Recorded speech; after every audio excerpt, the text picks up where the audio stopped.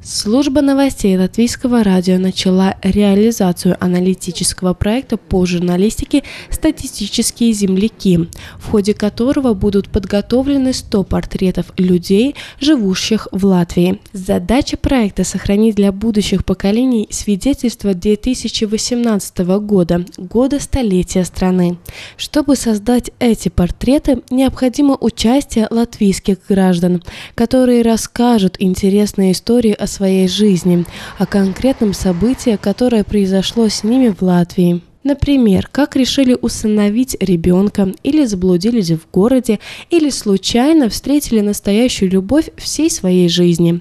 Любой житель Латвии может стать частью этого проекта. Для этого необходимо обратиться в службу новостей латвийского радио через социальные сети, по электронной почте tautieši.latviasradio.lv или по телефону 27834559. Из всех полученных историй будут выбраны 100 самых интересных, которые будут транслироваться на латвийском радио осенью этого года. Проект посвящается столетию Латвии. Сюжет подготовлен студией Dotcom TV.